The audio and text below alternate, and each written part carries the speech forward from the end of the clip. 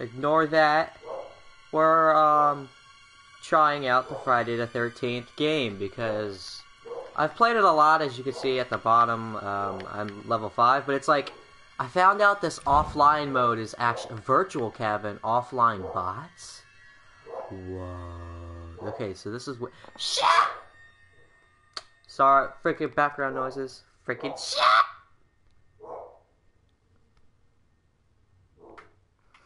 Um, so freaking, I have friends like apparently posting like the link to the vi- like stream.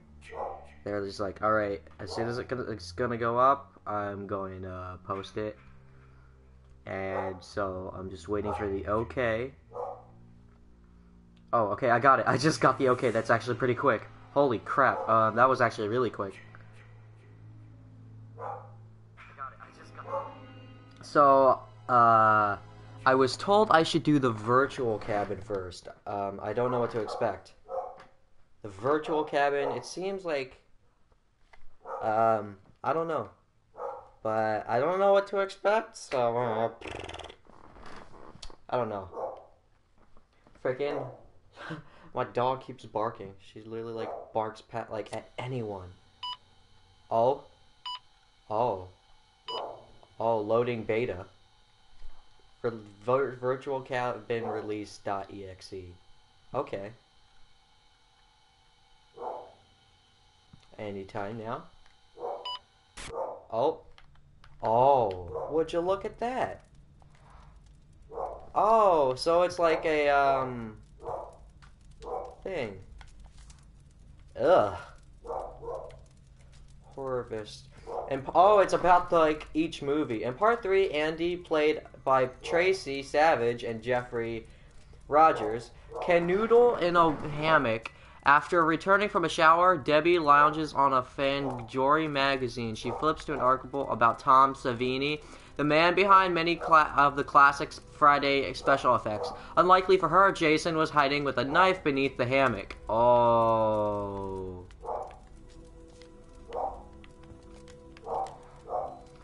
Double vision. Okay, well this is pretty cool.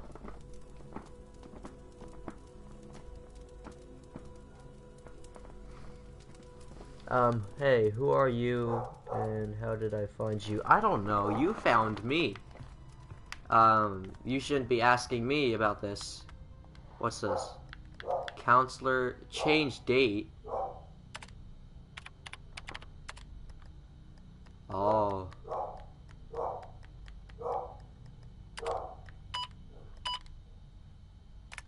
Do I... Uh... Uh... Friday...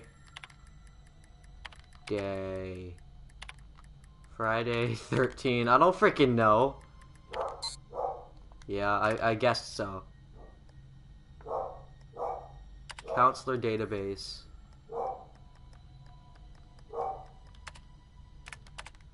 Wow.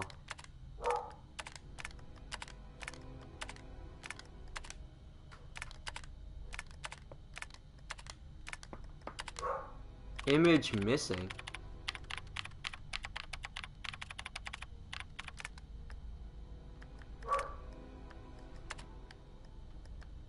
So it's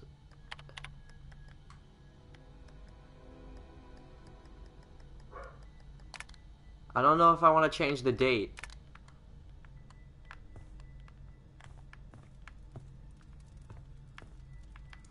Oh, this is really cool. Diorama display. Alley.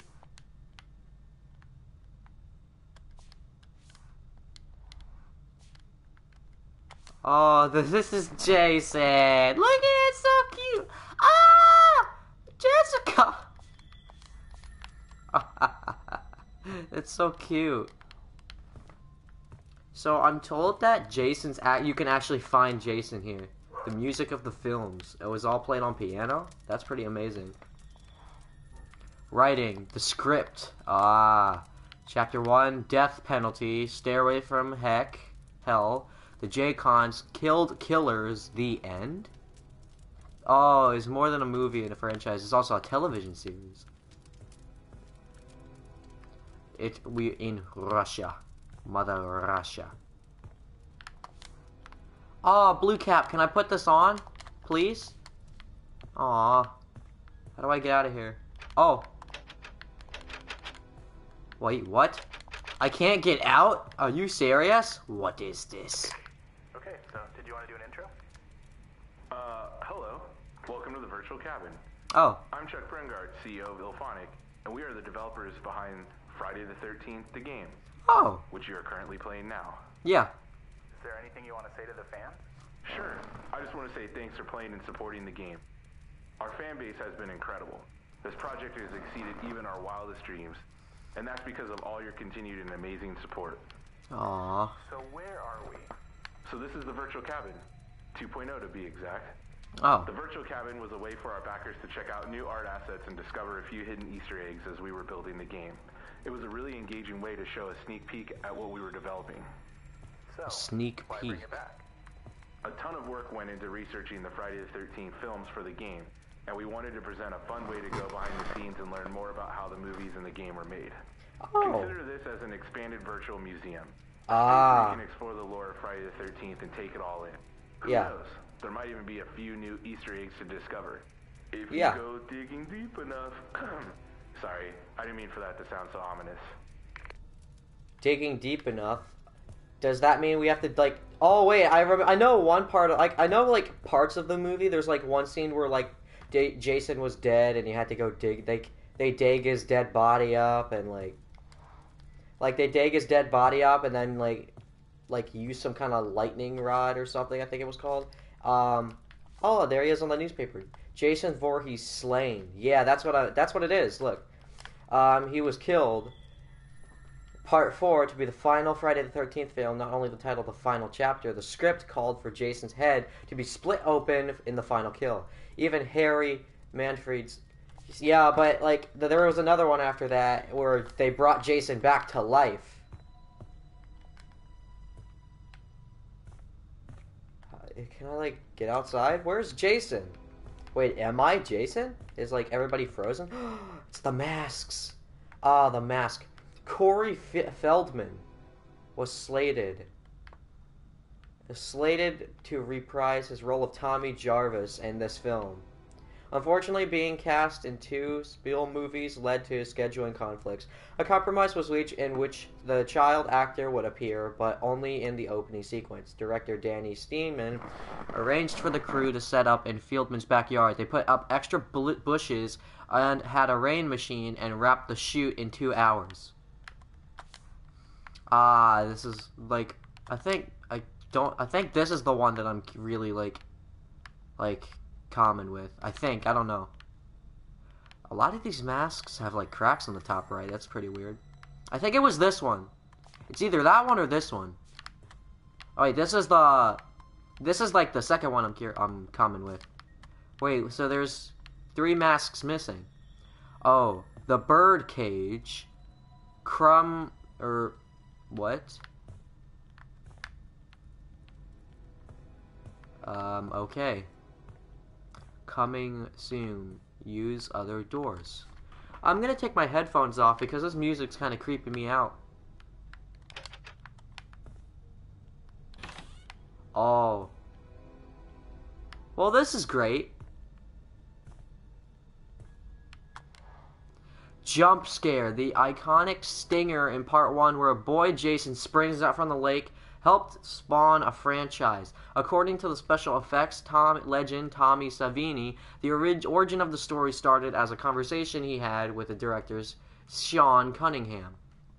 Savini had just seen Carrie and had been impressed with the stinger at the end. He suggested that once the killer had died and the audience were, were, was relaxed, boy Jason should jump out of the lake and attack Alice. Cunningham agreed, and the legend and a legend was born.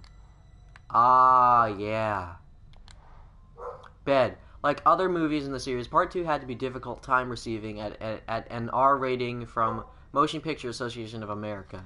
An X rating only avoided once 48 seconds had been trimmed. One scene that raised the ire of censors was the Jeff and Sandra impaled by a spear while having sex in the bed. Oh, yeah. That wasn't a pretty scene. Oh, it's the many murder weapons of Jason. Pickaxe. Um, part two. Oh, wait. No, wait. The spear I can understand. This is the spear he. Um. Machete. Oh, in part uh, 9, Jason goes to he- hell in Jason's right eye that shows the machete damage as opposed to the left eye that is damaged at the end of part 4. Um, I and Gun Media corrected this in part 9. Jason in the game. The devs took a poll to see if the mistake should be re retconned or let be. The verdict was that was that it should be fixed. Many Gun, including Ronnie Hobbs, were still conflicted. There were some people that wanted it to be fixed, but if we didn't, we couldn't live with ourselves. Yeah. Ah. Axe. That's a bat. That's a double-ended axe. It's pretty cool. Duck. Jason's relationship with animals is undefined. In part two, J- Jeff and Sandra discover a dead dog. It is suspected that it is the work of a killer of the killer, although it's never confirmed. In part eight, in part eight, Jason takes Manhattan. The director instructed Kane Hodder, who played Jason, to kick a dog. Hodder, Hodder, however, refused, saying it wasn't in Jason's character. Yeah, Jason doesn't kick, he cuts. That's the thing. Besides Bill's impalement in the original Friday the 13th Friday, there have been several characters that Jason affixed to walls or doors or even rafters. The bike gang character of Fox, oh, I like, I like them. Played by Gloria Charles, was impaled in the neck with a pitchfork. Yeah, that wasn't good. And the left to hang from the second story of a barn. The pitchfork was real, but it made but made so that the two prongs in the middle were collapsible.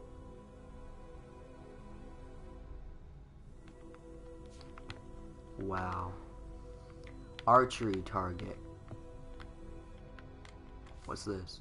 Oh, it's the original sl- volume, Slasher Volume 1. Even before they had the license to, at developers at Gun Media intended to write a love letter to Friday to the, to the Friday series and knew they needed legends to do it. Speaking of their early days, co-creator Ronnie Hobbs didn't mince words. Our goal all along for Slash Volume One was to get Tommy Savini, Kane Hodder, and we yeah yeah the Alviati.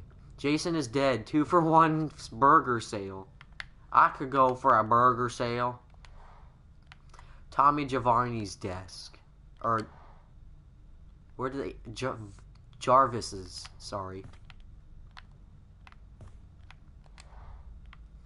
Radio to call Tommy Jarvis. Ah. A knife. Throughout Tommy's Tom Savini has some idea, people. Yeah. Baseball bat. Did the most capture for Jason's kill. He is known for its, his intensity and dedication to his craft. For some of the weapon kills, uh, dummy for harder to physically hit with rubber bats. According to that dummy didn't last a week. Every morning the prop people would be duct taping it back together because Kane would just beat the crap out of it. Flare. Among the interesting deaths uh, are stranded along the woods. Enough occurrence. Jason ambushes the two, shoves a road flare in Vinnie's mouth. Ah, uh, I didn't, I didn't see, I didn't know that. I didn't know he Ah, Pig Splitter. Um, the game who had its own problems with censors. Germany's ratings aboard the USK um, found the game so violent that they rejected the game at launch. Wow. Ah, the gun. Is there like, can I even like pick up anything? Welcome to Crystal Lake. Yeah, that's not a coming soon. Um, this is a bed. Wait, is this an Alexa or something?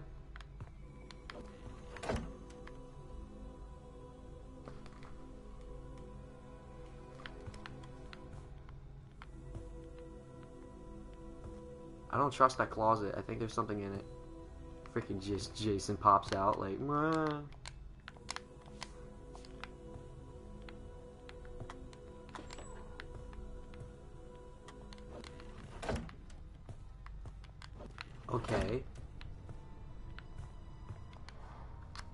Game development. I don't know what that has to do with it.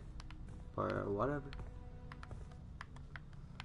So there are three masks missing. There's like one Jason that I knew like like by himself, but I just can't put my finger on which one it was cuz there's so many of them.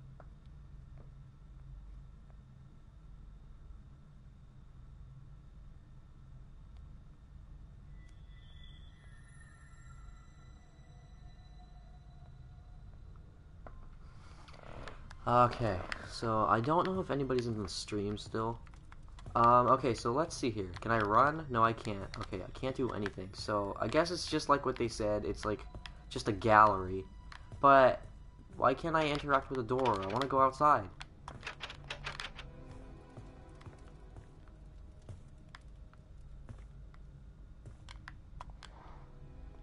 Oh. Ah, it's that scene. Yeah. Wait, wait, wait. Was Jason underneath it? Ah. I like how I'm just peeping in.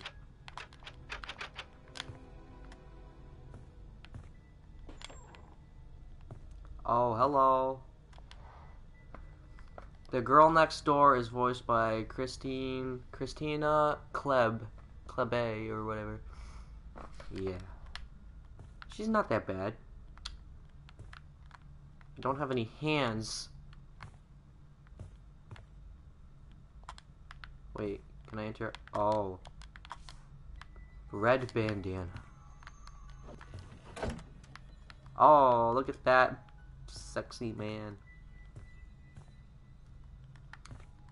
There's a lot of crap in here.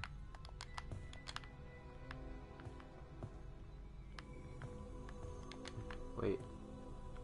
I wonder how I can get out of the house. Developing story. Ah, the mythos. Where are you? Deborah Kim. Oh, yeah. Apple. The big apple. Uh. Jason takes Manhattan covered in goo, according to Kane Hodder. Wait. They put slime on him in every single shot. He was wet the entire movie. yeah, that that honestly, like I know what they're talking about, but it's like that didn't make any sense. Like I mean, he should have at least dried, even if it was like nighttime. You see, he, they should have like put less on him at times. They should have like put it on him and then let it dry.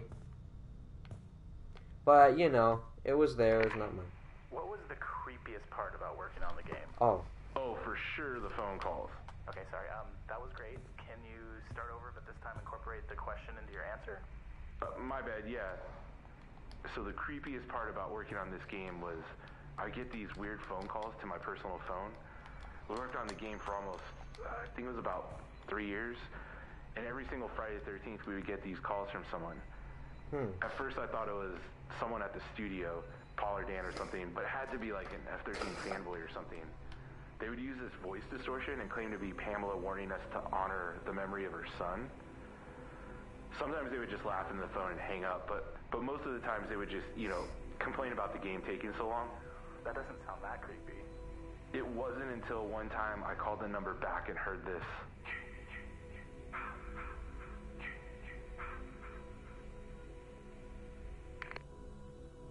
Wow.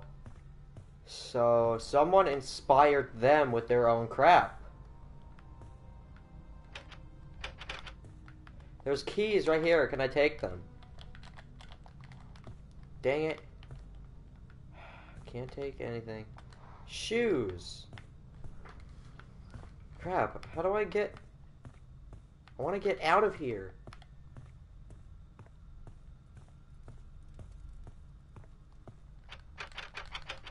Wait, maybe I have to, uh... Check for updates. Okay, let me see.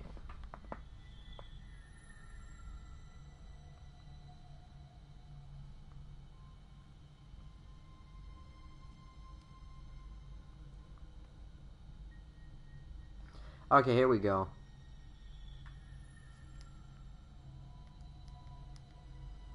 Alright, so I gotta watch this.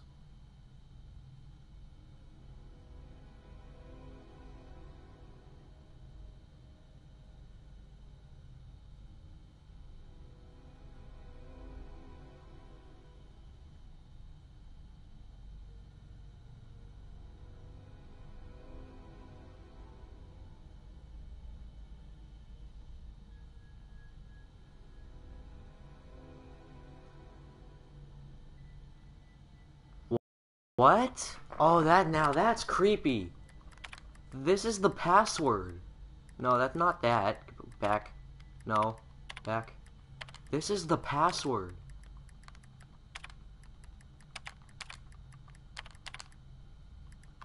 Now that's creepy. Wow. Downstairs display room.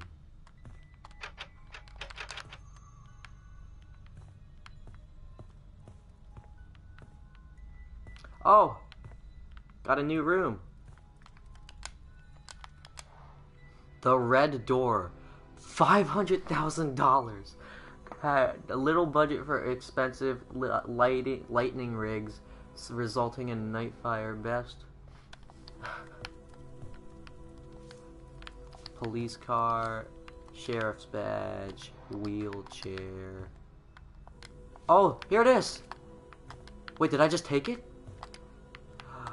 Whoa. I took it. Wait, what? Oh.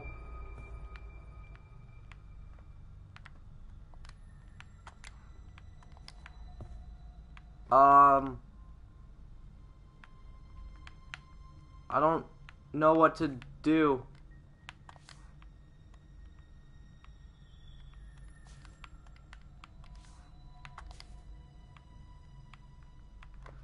I don't go away.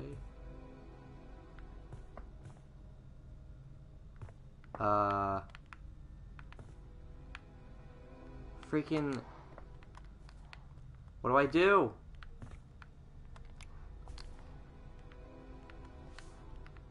So I can take stuff.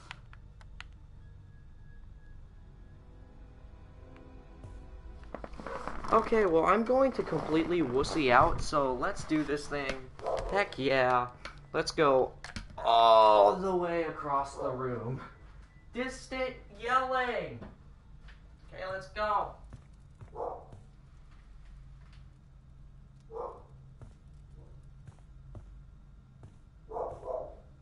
We did it! Hooray! I actually almost crapped myself from that.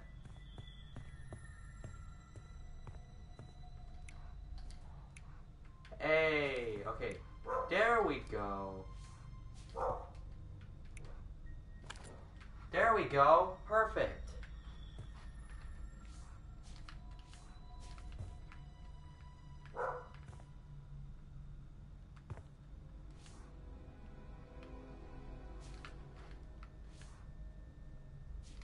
Alright, well this is a cute little walkthrough. I'm gonna go test around with this. Thank you guys so much for watching.